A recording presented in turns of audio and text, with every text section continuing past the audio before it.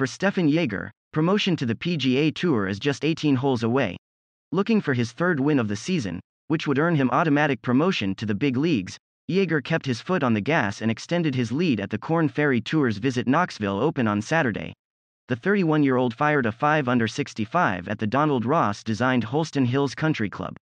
The German has made just one bogey all week and sits at 19 under, three shots clear of Grayson Sigg, who earlier in the week tied the course record with a 61. In the combined season, Jaeger has wins at August's Albertsons Boise Open and last month's Emerald Coast Classic at Sandestin.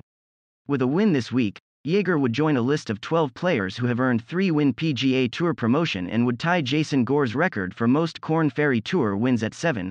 I'm still nervous.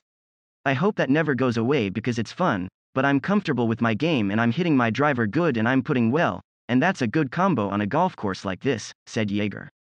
I'm really excited to play with Grayson, Sigg, tomorrow, we're good buddies so we're going to have a good time.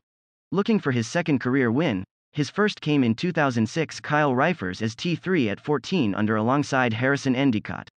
If Reifers, 37, is able to overcome the five-shot deficit, he'll set the record for longest span between wins at 14 years, 10 months and 21 days. The current record? Eric Axley at 12 years, 11 months and 14 days. Thank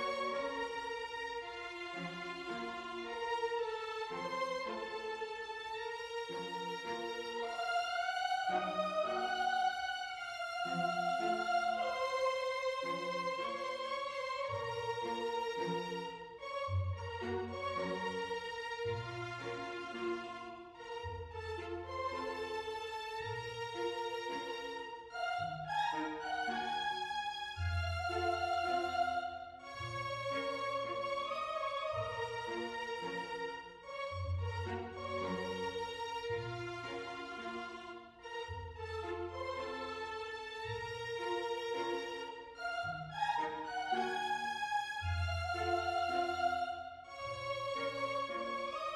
Música